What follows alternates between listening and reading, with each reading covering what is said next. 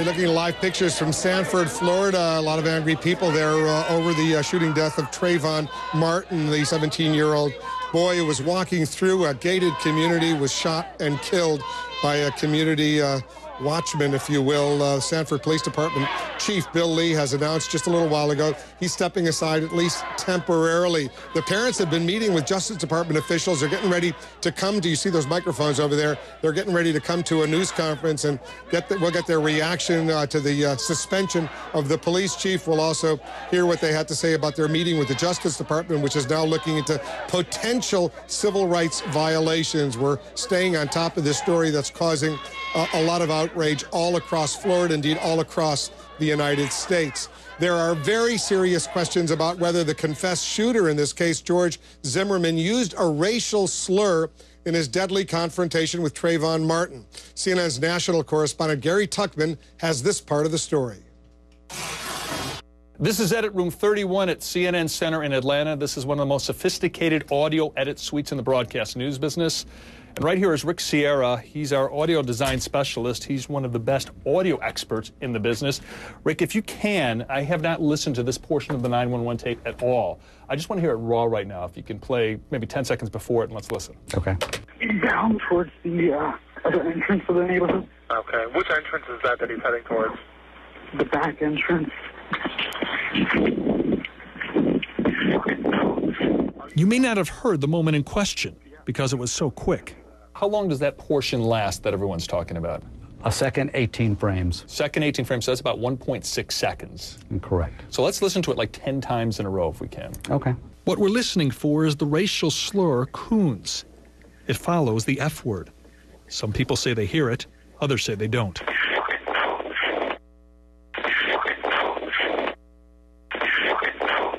It's certainly a, a, lot clearer when we listen to it this way. Correct. Is there anything else we can do with that audio to make it even clearer?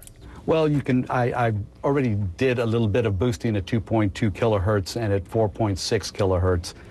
Uh, that's boosting the high end of it the sounds voice. like it can power, power the flux capacitor. That's right. That's okay. right. What Rick has done is lowered the bass. So why is it that you want to get rid of the low end of the audio, the bass of the audio? Well, to minimize the noise. To minimize the noise. That takes away the noise and allows us to hear the voice more clearly. That's correct. I'll boost it up a little bit more there, and we'll give it a shot here.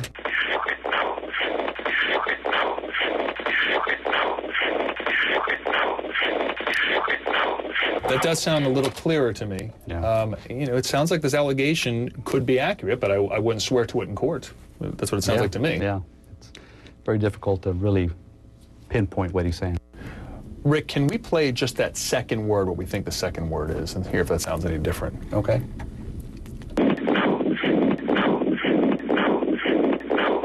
I mean, it certainly sounds like that word to me, although you just can't be sure. Let me show you. That sounds even more like the word than using it when it was with the F word before that. That's, that's correct. Only George Zimmerman knows if he used the slur, but he's not talking. So the phone call, like so much of this case, remains a mystery. Gary Tuchman, CNN, Atlanta. All right, let's bring in our uh, legal analyst, Sunny Hostin, once again. She contributes to uh, In Session on our sister network, truTV. Uh, what do you make of this whole investigation, whether or not a racial slur is actually heard on that 911 tape? Well, it certainly is significant if the Justice Department Civil Rights Division has to prove that this was a hate crime, because they would have to prove what was in George Zimmerman's mind. If he indeed uttered that racial slur, that would certainly make a civil rights case a bit easier uh, for the Justice Department. It would be very, very difficult absent some sort of history of racial animus or, or, or something um, besides uh, what we have so far to show um, a hate crime and to prove a hate crime. It's a pretty But high this, hurdle, if- though, if that they have to go over, right?